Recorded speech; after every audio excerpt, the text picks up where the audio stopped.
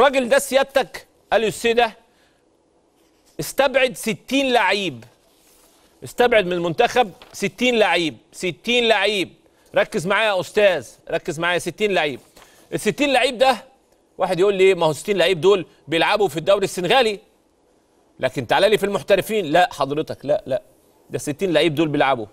إنجلترا فرنسا. إنجلترا فرنسا فرنسا إيطاليا فرنسا إسبانيا إنجلترا.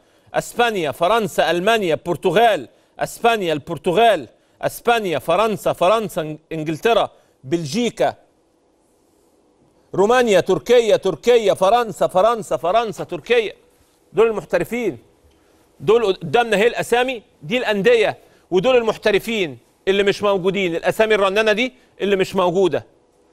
دي الأسامي المستبعدة من قائمة منتخب السنغال في كأس العالم.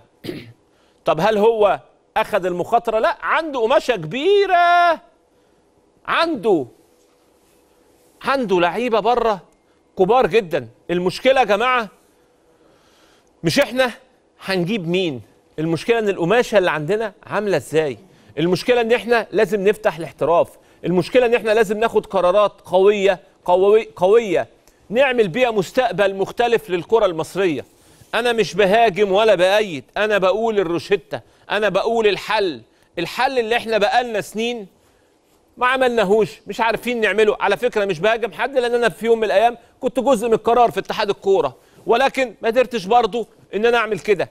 أنا بتكلم إن إحنا كلنا كلنا في مركب واحدة. الراجل ده كان مساعد مدرب.